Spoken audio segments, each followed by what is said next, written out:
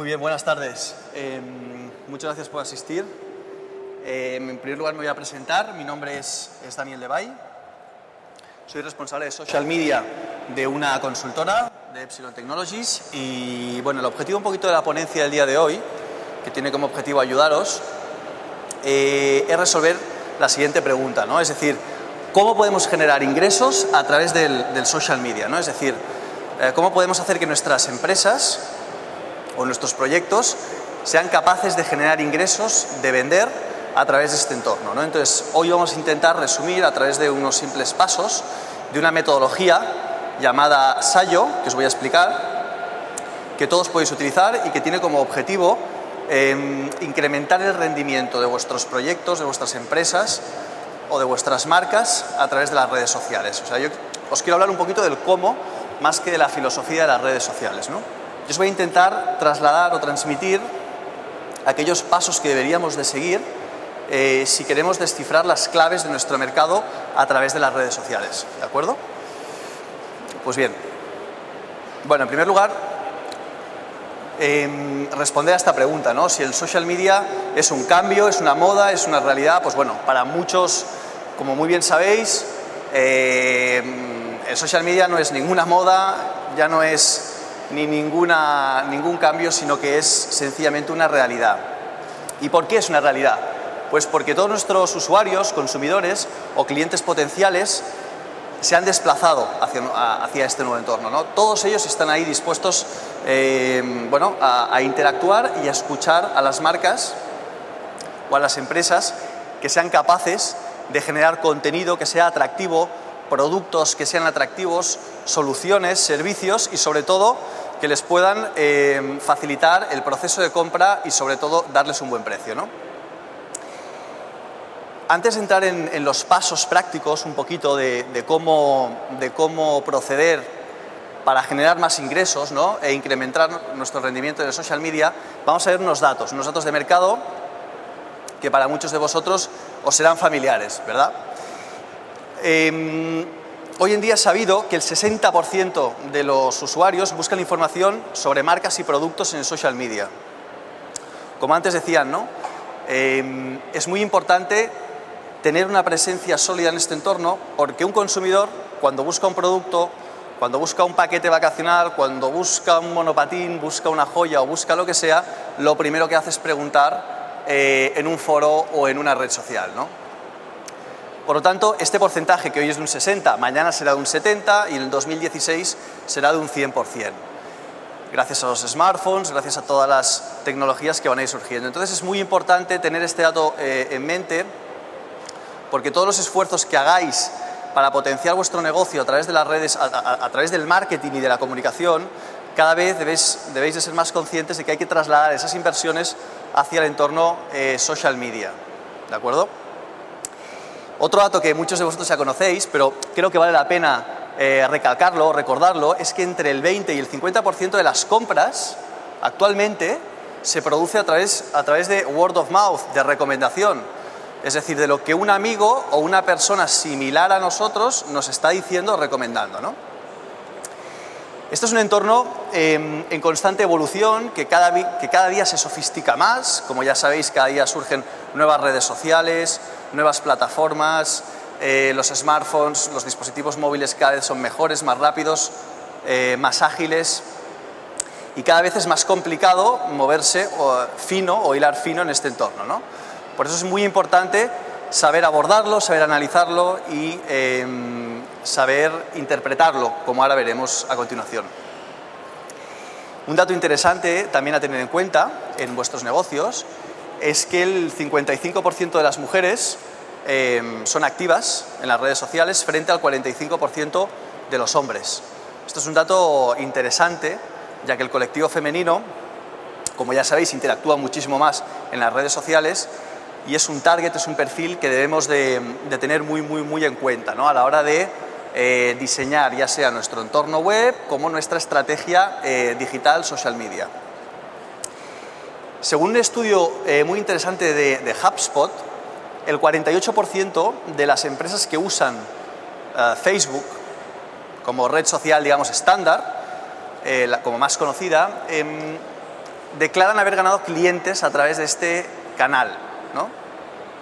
Claro, esto es un dato pues, muy interesante que demuestra la importancia de estar presente. Luego la otra pregunta es, ¿y cómo tengo que estar para generar tráfico? Bueno, esto luego, luego lo abordamos, ¿no? un poquito también lo que decía el anterior ponente. Pero lo que sí que está claro es que este dato revela que si no estoy aquí, dejo de ganar dinero. Mi empresa deja de, de generar ingresos o se está perdiendo oportunidades de negocio. Y esto pues no puede ser, ¿no? El efecto ropo, que ya todos conocéis, el efecto de que hago investigación en Internet pero compro en el punto, en el punto de venta, es un fenómeno que cada vez eh, se confirma más. ¿no? El 34% de los usuarios busca información online y compra offline. Pero luego también está la otra, eh, la otra vertiente, que es que el 42% de los usuarios busca y también compra solo en el entorno online y en el entorno digital.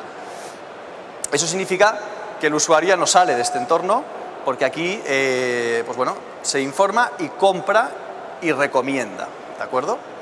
Con lo cual, el efecto ropo se sigue, digamos, sigue teniendo mucha importancia y mucho peso, pero el consumidor cada vez más compra a través de Internet y a través de los canales online, como ya sabéis.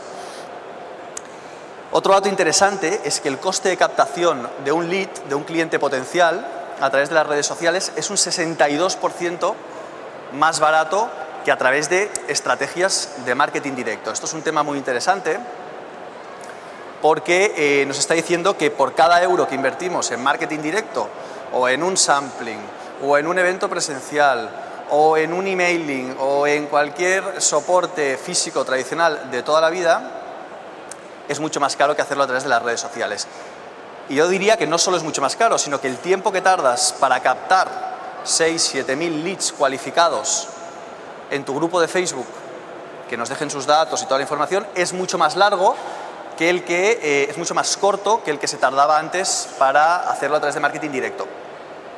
En definitiva, todas aquellas empresas que tenéis presencia en el social media eh, declaran que ganan más dinero que las que no tienen presencia en social media. Esto es un hecho hoy en día consumado. Entonces lo que tenemos que ver es cómo abordamos este entorno y cómo podemos de alguna manera eh, diseñar una estrategia que nos permita generar ingresos. Perfecto. Entonces, para poder diseñar una estrategia sólida que nos genere ingresos, lo primero que tenemos que hacer es abordar este entorno de una forma analítica. No podemos diseñar una estrategia eh, de forma pues, intuitiva, de forma porque yo creo, porque me parece que el competidor lo hace así y yo voy a replicarlo. No, no tenemos que abordar las estrategias a través del análisis, del análisis y de la inteligencia competitiva. ¿Qué significa esto? Significa que tenemos que ser capaces de entender las conversaciones, las opiniones de todos nuestros clientes potenciales y actuales a través del entorno digital. Debemos de ser capaces de saber quiénes son nuestros clientes, qué necesitan, saber rastrear, monitorizar, todas aquellas opiniones que se están produciendo en diferentes foros y en diferentes plataformas que ahora veremos. ¿Por qué es tan importante hacer este proceso previo? ¿Por qué os, lo recomendamos? Porque mm, si estamos vendiendo a través del social media o a través de Internet, nosotros lo que necesitamos es captar insights o captar información de forma rápida, de forma ágil, porque como ya sabéis es un entorno muy cambiante. Lo que nuestro consumidor hoy necesita mañana a lo mejor ya no le interesa y por lo tanto tenemos que ir ajustando de forma muy precisa, muy rápida, muy ágil todos aquellos eh, mensajes que nosotros creamos, o sea, que, que emitamos desde nuestros canales sociales. Es muy importante poder tener un cuadro de mando que nos permita descubrir tendencias, que nos permita anticipar una crisis, que nos permita ser flexibles para poder conocer muy bien lo que el cliente pide, necesita y exige. Pero todo esto, ¿cómo se estructura? Es decir, ¿por dónde empezamos? ¿Cómo podemos elaborar o, qué pasos debéis de seguir o recomendamos para poder diseñar una estrategia que os genere ingresos? Pues el primer punto, el primer punto es analizar la cuota de ruido, es decir, debemos de saber nuestro negocio, nuestra marca, nuestro producto, tenemos que saber realmente cómo está posicionada en el mercado. Tenemos que saber realmente cómo está de forma relativa, cómo, cómo se sitúa de forma relativa con los competidores. En qué plataformas generamos más ruido, en cuáles tenemos menos presencia, en cuáles nuestros competidores lo están haciendo muy bien y obtener información del mercado. Es decir, esto lo podemos hacer a través de múltiples herramientas de monitorización gratuitas que existen en el mercado y que os permitirán conocer el ruido que está generando un término o un producto o una marca versus otros eh, productos competidores. Aquí podéis ver un ejemplo de, pues como por ejemplo, eh, se distribuye un total mercado por diferentes marcas y competidores y por plataformas, ¿no? Es decir, por ejemplo, la marca 1, la marca 2 genera mucho ruido a través de Facebook porque es una plataforma donde realmente está haciendo pues, muchas acciones, muchas promociones, está incidiendo de forma pues, muy intensa. ¿no? Entonces, muy interesante saber realmente a vista de pájaro cómo está el mercado, qué hacen mis competidores. ¿no? Este tipo de, de output nos permite saber realmente si tengo que invertir, si tengo que crear un blog, si mis competidores están triunfando porque su blog funciona bien, porque su blog genera mucho ruido, porque su blog genera muchas opiniones, esto es un indicador que nos está dando pistas de qué plataforma tenemos que crear o en qué plataforma tenemos que generar em, más contenidos de forma más incidente. Si por ejemplo vemos que para nuestra tipología de productos Twitter no es útil porque no genera mucho ruido, pongamos el caso de, em, bueno, de, una, de una marca de pasta italiana, ¿no? es un caso real. Twitter en el mercado de, pastas italianas, Twitter no genera ruido. Pues bueno, esta marca no debería de invertir en este canal, debería priorizar otro tipo de canales donde sus consumidores se sienten más afines. ¿no? Debemos de focalizarnos en aquellos canales que se adapten a nuestra tipología de negocio. Si, por ejemplo, comercializamos o tenemos una marca de cosmética, Facebook es un canal que funcionará muy bien si tenemos un producto que es complejo, que debemos de saber explicarlo de forma precisa a nuestros consumidores o usuarios digitales, deberemos de crear un blog que sea muy eh, didáctico, que sea muy fácil de entender, eh, que genere contenido útil, que esté muy indexado y que nos genere visibilidad. Si estamos vendiendo o nuestro producto tiene un nombre muy específico o es de nicho o, es, o pertenece a un mercado muy vertical, será muy importante también tener un blog para tener esa visibilidad y generar indexación, ¿no? posicionamiento, que nuestras palabras clave estén muy bien seleccionadas. En definitiva, es importante conocer realmente si vamos a tener una presencia digital, analizar previamente el entorno. Esto es un, punto clave. El siguiente punto, como, todos sabéis, es analizar eh, el comportamiento del consumidor. En los últimos años ha sido muy difícil analizar el comportamiento del consumidor a través de las redes sociales, porque habían pocas herramientas, porque habían eh, bueno, pocas empresas que se dedicaban a esto. Pues bien, hoy en día, a través de estos diferentes algoritmos o herramientas que existen en el mercado, podéis analizar todas aquellas opiniones que se están produciendo en la red sobre un producto, sobre una marca o sobre un keyword. Toda esta información nos aporta muchísimo valor a la hora de tomar decisiones. A la hora de tomar decisiones, si queremos generar contenido útil, si queremos conectar con nuestro usuario o si queremos llamar a, su, a su, puerta ¿no? para, para llamar su atención. Aquí podéis ver el ejemplo muy visual de un usuario. Esto es un usuario real para una marca de cosmética, eh, donde nosotros lo que hacemos es identificar su opinión. Está hablando de una marca y la identificamos a través de Twitter. Esto todos lo podéis hacer a través de Twitter y a través de diferentes herramientas de análisis y monitorización podéis ver dónde se está hablando de vuestra marca. Y el consumidor, que se llama AJ Pérez, bueno, simplemente está diciendo que eh, acaba de salir del gimnasio, recién duchado, aceitado, que ha nadado mil metros en la piscina y que está listo para salir a vender. Claro, si analizamos lo que está diciendo, podemos obtener información, podemos extraer insights y aprendizajes, como por ejemplo que le interesa la cosmética, que es presumido, que hace deporte y que le gusta y, que practica deportes para estar eh, en forma y tener buena salud. ¿no? Claro, si nosotros analizamos todas las opiniones de nuestros productos eh, y de nuestros competidores y aglutinamos todas estas opiniones, al final podremos acumular una muestra, quién sabe, de mil, de cinco mil o de diez mil opiniones cualitativas que nos permitirán conocer lo que AJ Pérez y todos sus similares quieren y necesitan en el entorno digital. ¿no? Entonces, claro, esto es muy importante si luego queremos generar contenido, contenido que sea atractivo y que impacte, tenemos que saber cuál es el lenguaje que está usando, cuál es el tono, para luego saber si, bueno, cómo hay que aproximarse, si de una forma o de otra. Como os decía, este AJ Pérez, en muchos casos, podemos identificar si está en una plataforma o en otra. A veces podemos cruzar diferentes opiniones de forma multiplataforma y obtener más información sobre este usuario. Entonces, como os decía, es muy importante conocer quién es mi cliente, quién es mi consumidor y sabiendo eso sabré qué tengo que crear, cómo comunicar para llegar a sus necesidades e intereses.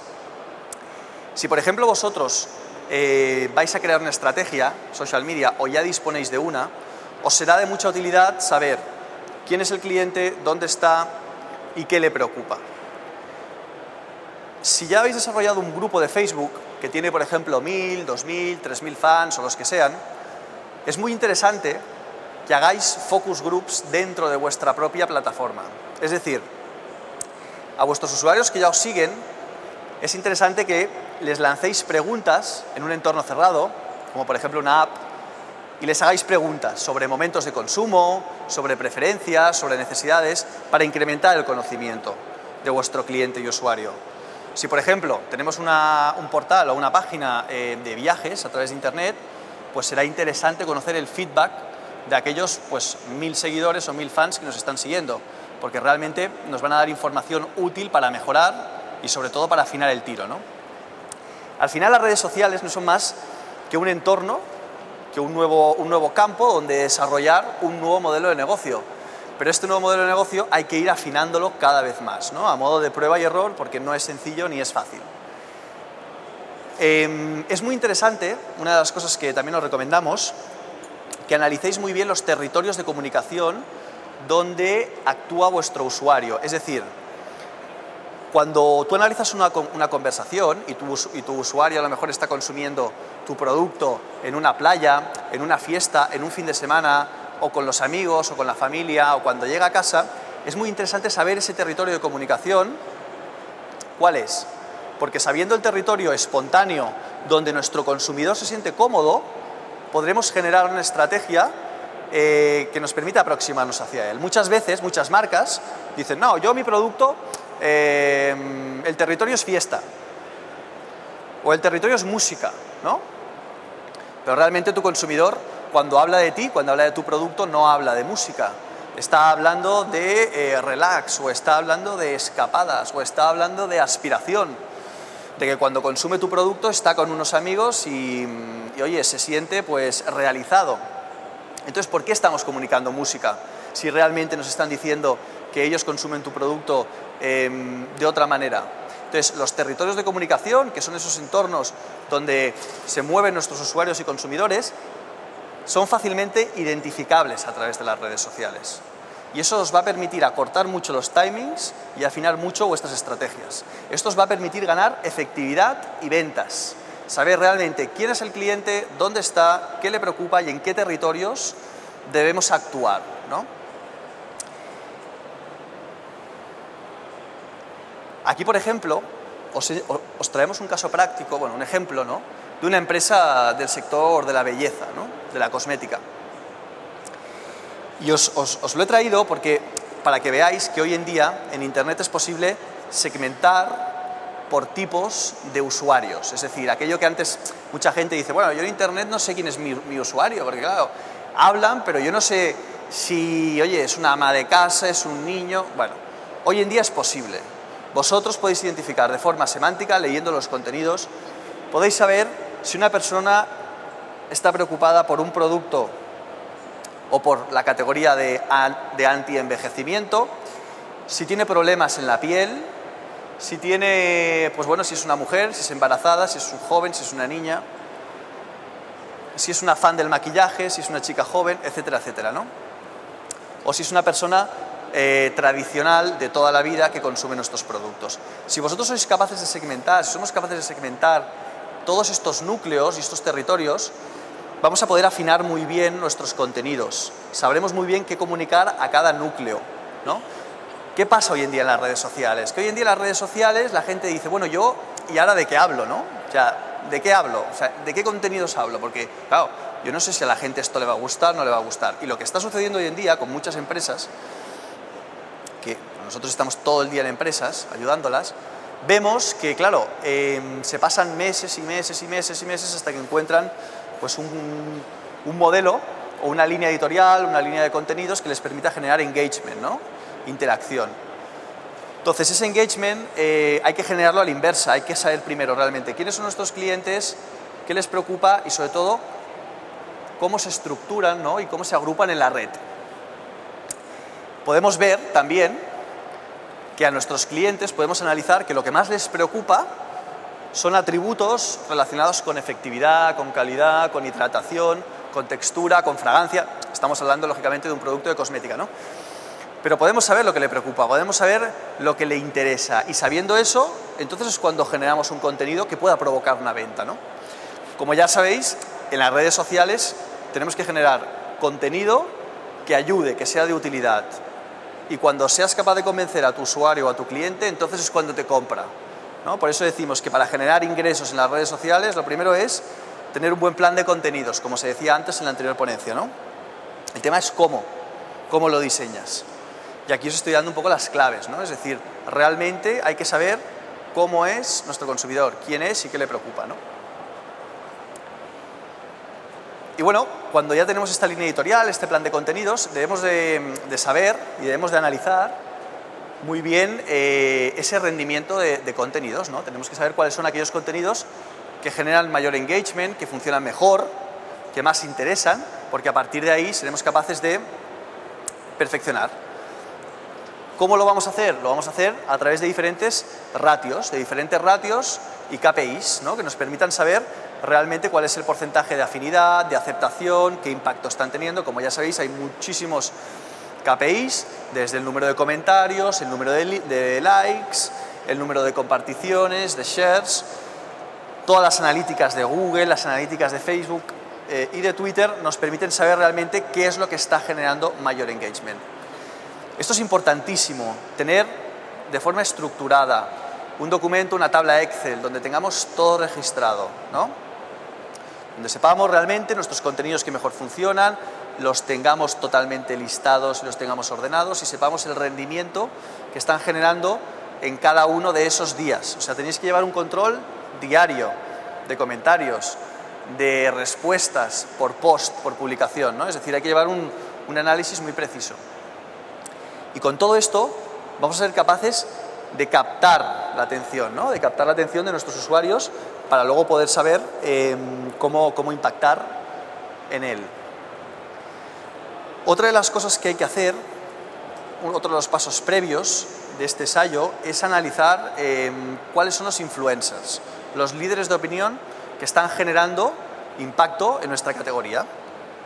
Si, por ejemplo, nosotros somos una marca de cosmética, debemos de, saber quiénes son aquellas personas que están generando influencia, que están generando impacto, recomendación, ¿no?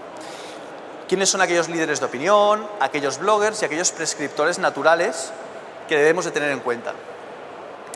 Es muy importante, hoy en día podéis, podéis analizarlo, podéis saber con detalle, por volumen de impactos, qué impacto genera cada líder de opinión, cada blogger, y a partir de aquí calcular realmente si merece la pena invertir en acciones de este tipo y en qué líderes de opinión vamos a tener que, apoyarnos. ¿no? El efecto de un líder de opinión puede ser brutal.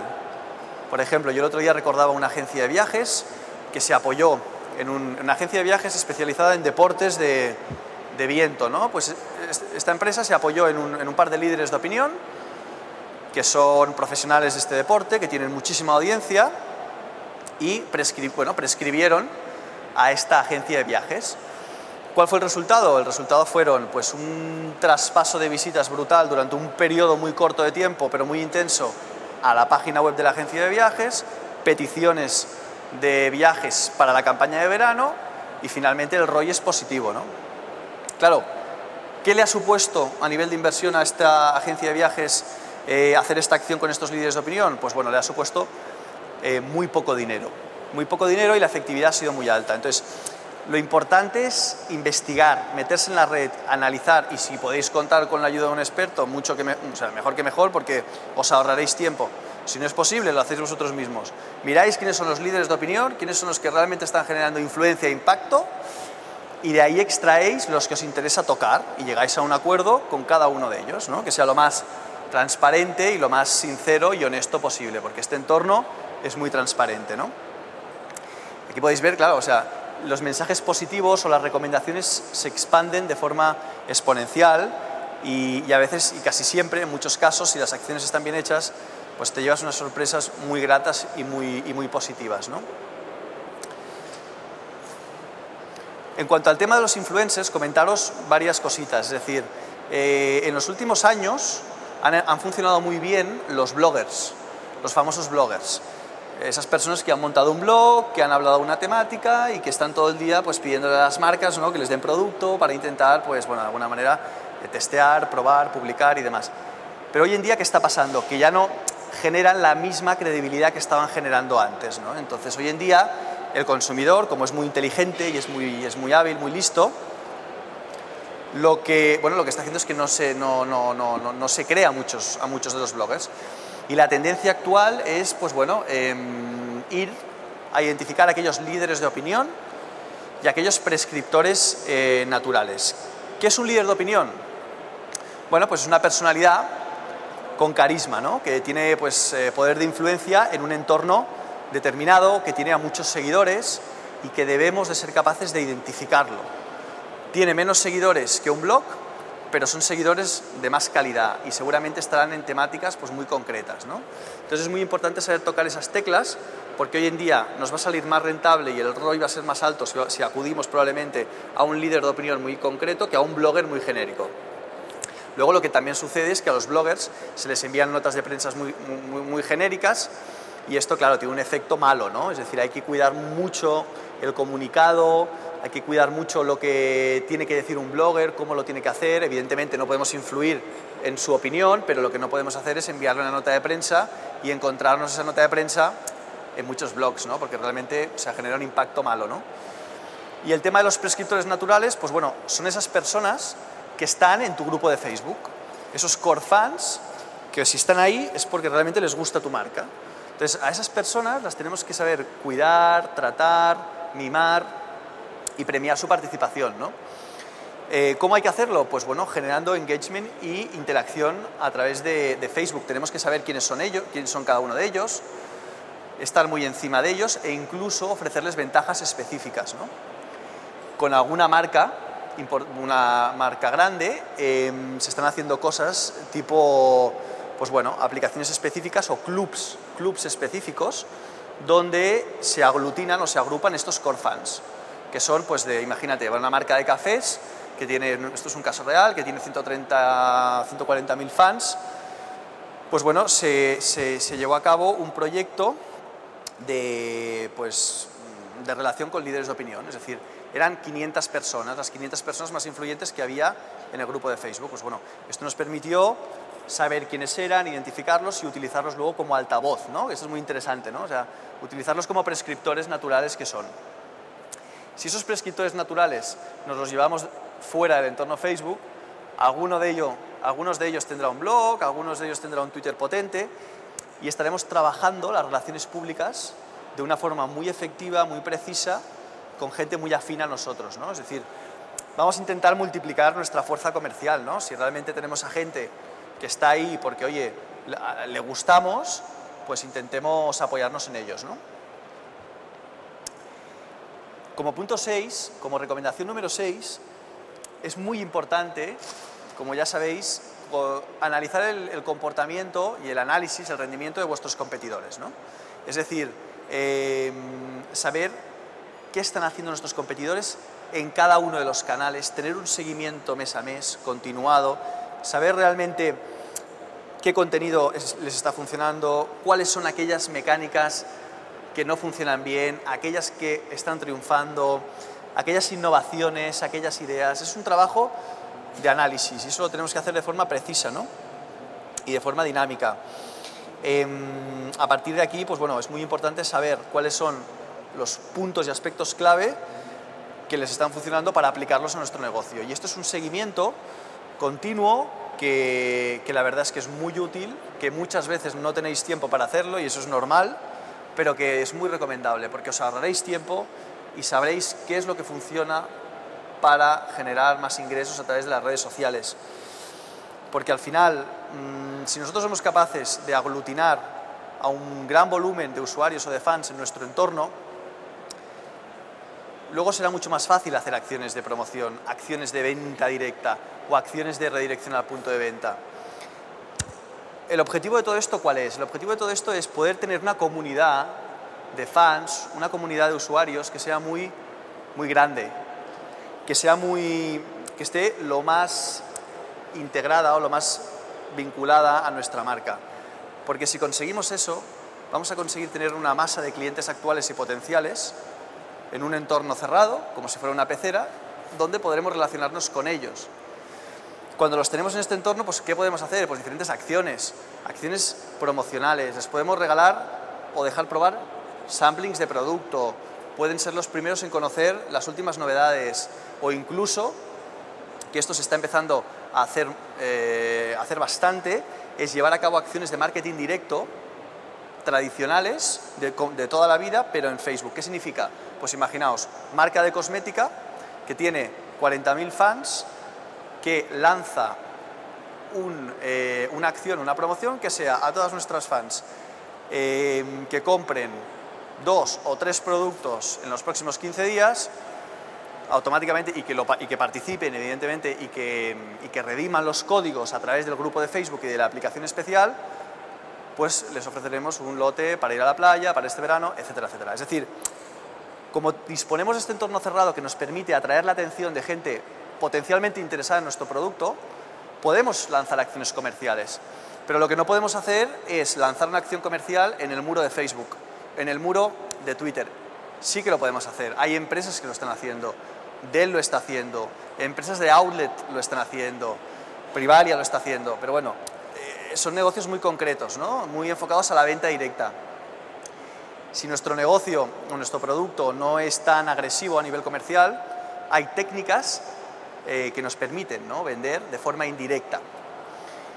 Luego otro punto que es muy interesante es todo el tema de tengo 15.000 fans y con esto qué hago, ¿no? Es decir, no tengo ni los nombres, no tengo ni los apellidos, no sé dónde vive, no tengo su mail. Bueno, pues lo que aquí es muy interesante hacer es transformar de alguna manera todos estos fans en datos. ¿Cómo? A través de un CRM. A través de un CRM que esté dentro de Facebook. Es decir, todas las técnicas de marketing que se están llevando a cabo, que se han llevado a cabo en los últimos 15, 20 años, marketing directo, CRMs, estrategias de promoción, captación, todo esto hay que integrarlo en las redes sociales. Ahora tenemos la gran suerte de que tenemos este nuevo entorno que nos permite estar más cerca del usuario y a un coste baratísimo. Es una base de datos, llamémosle viva, ¿no? que va evolucionando. Hay fans que se suben y otros que se bajan, pero de alguna manera lo que tenemos que ser capaces es de crear esta comunidad y sacarle rendimiento a esta comunidad. Lo que os decía, traspasar, por ejemplo, a un fan en un lead, es decir, con nombre, con apellido, con mail, con número de teléfono, con población, etcétera, etcétera. Si tenemos esta información, nosotros ya le podemos enviar una newsletter, nosotros ya le podemos enviar una oferta last minute, ya le podemos enviar cualquier tipo de comunicación comercial y eso al final os va a generar una venta y os va a permitir generar más ingresos en las redes sociales.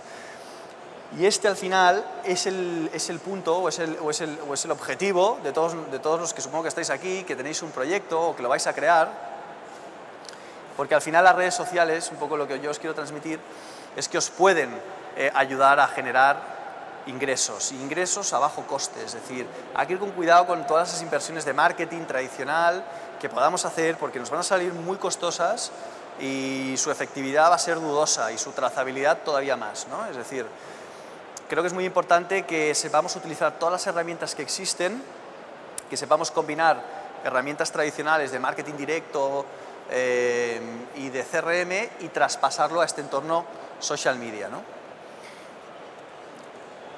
Y como seguramente todos os, os preguntaréis o, o, alguna vez os habréis preguntado, es, claro, a mí me supone un poco de, vértigo esto de las redes sociales, porque claro, ¿y si tengo un problema?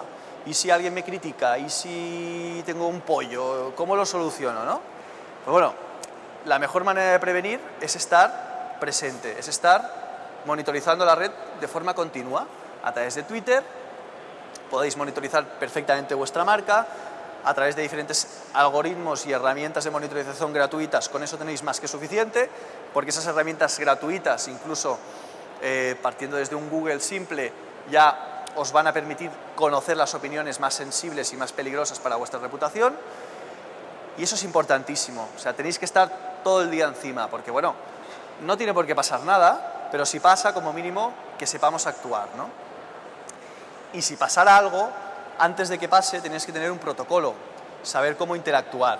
Si, por ejemplo, tenéis una crítica en un entorno o en un foro que tiene cuatro seguidores o un tuitero que tiene 10 eh, followers, pues tampoco nos pongamos muy nerviosos porque tampoco va a pasar nada. Em, si contestamos, a lo mejor la pelota se hace, se hace más grande. ¿no? Luego también hay que tener en cuenta que los, vuestros propios fans o vuestros propios usuarios, ellos mismos también nos van a defender porque por eso son fans y usuarios de vuestra marca. Y muchos de ellos eh, van a salir en vuestra defensa. Esto, con muchas experiencias que hemos tenido, lo hemos visto. Antes de actuar, la propia gente nos cubre o nos defiende y esto está muy bien porque genera una sensación de transparencia em, muy, muy interesante y esto, claro, genera credibilidad, ¿no? Al final, ¿qué es lo que nos interesa? Pues lo que os decía, muy importante todo el tema de la, de la monitorización. Y entonces, un poquito como conclusión, eh, me gustaría, si queréis luego hacemos un poquito de debate, como conclusión deciros que por qué es tan importante utilizar eh, eh, herramientas de, de, Social Analytics and Intelligence Optimization, o sea, por qué todo esto ¿no? tan, tan laborioso, por qué tengo que hacer todo esto si puedo abrir un Facebook y oye, generar contenido y a ver qué pasa, ¿no? Pues todo esto hay que hacerlo hoy en día porque todo esto se ha sofisticado mucho. Antes abrías un Facebook, abrías un Twitter y bueno, ibas capeando la jugada y a ver qué pasaba, ¿no? Hoy en día ya no, o sea, un usuario de media puede llegar a seguir a 50 marcas.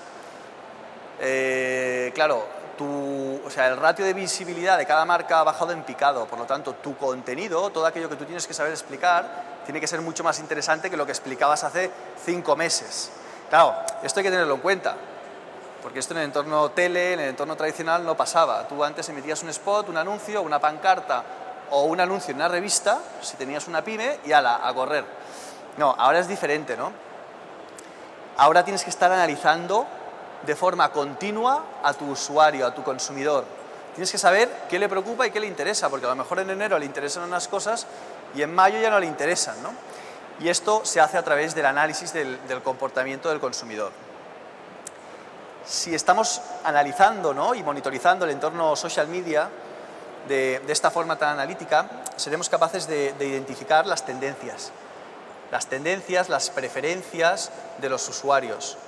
Por ejemplo, para una marca concreta, ¿no? una marca concreta de crema, eh, bueno, de, perdón, de crema, de mm, una, marca cosmética que vende cremas, exacto, eh, nos, dimos cuenta de que sus usuarios utilizaban la crema para un objetivo concreto, ¿no? que era nutrir la tapicería de los coches, ¿no? Y dices, bueno, pues no tiene nada que ver, ¿no? Porque estamos vendiendo un producto que es para, para el cuidado de la piel de la mujer. Bueno, pues dándote cuenta de esto, se generan contenidos que van enfocados en esa dirección, ¿no? Pues para encontrar nuevos nichos, nuevas oportunidades y que nos puedan permitir pues, generar nuevas ventas, ¿no? Pues estos cambios que van surgiendo y que pueden parecer tontos o estúpidos, al usuario le interesa, ¿no? por lo tanto nosotros lo tenemos que tener en cuenta en nuestro plan. Esto nos, permite obtener insights eh, y, e innovaciones. Las redes sociales o es un pulso, es un, entorno que nos permite saber cuál es el clima social, ¿no? con lo cual tú aquí puedes extraer eh, tendencias que te aporten valor diferencial. En definitiva, tenemos que ser capaces de acortar los timings. Cuando vemos una oportunidad, cuando vemos una, una novedad, algo diferente que nos llame la atención, tenemos que actuar de forma rápida. De forma rápida para generar impacto entre nuestros consumidores y nuestros usuarios. Porque este entorno está en constante evolución, es muy cambiante y un día estás arriba, otro día estás abajo. Y este es un poquito el learning ¿no? que, que me gustaría para finalizar que me gustaría transmitiros. Lo de las redes sociales es una montaña rusa. Con nuestros las empresas con las que colaboramos lo vemos, ¿no? O sea, un día el cliente eh, te quiere matar porque la cosa está yendo fatal y de pronto lanzas una acción eh, de co-creación, ¿no? Por ejemplo, imaginaos, lanzamos una acción de co-creación donde permitimos al usuario que nos está siguiendo en Facebook que nos diga pues cuál tiene que ser el nombre o el envase o el aroma de nuestro nuevo producto. ¿no? Imaginaos que dejamos participar al usuario en el proceso de, creación del producto. Bueno, pues este tipo de acciones, que son baratísimas, te permiten eh, generar un engagement y te permiten captar una cantidad de fans alucinante. ¿no? Pues bueno, estas acciones un día te pueden disparar de la miseria, llamémosle, al éxito rotundo, ¿no? Y esto está pasando día tras día. Por eso es importante ¿no? que estemos encima del entorno, que lo sepamos analizar, que lo sepamos interpretar, que sepamos conocer muy bien al consumidor y a partir de ahí que actuemos en consecuencia. Acciones, las que queráis, organizadas por acciones de promoción, de fidelización, de crowdsourcing, de lo que sea. Pero antes de diseñar cualquier acción es muy importante este análisis previo. Luego la acción saldrá sola y el objetivo saldrá solo. Así que nada, em, os animo a, a, que lo intentéis, a que lo probéis y para cualquier cosa que necesitéis, pues bueno, yo estoy en contacto, estoy en contacto con todos vosotros y a vuestra disposición para, hablar de lo que queráis.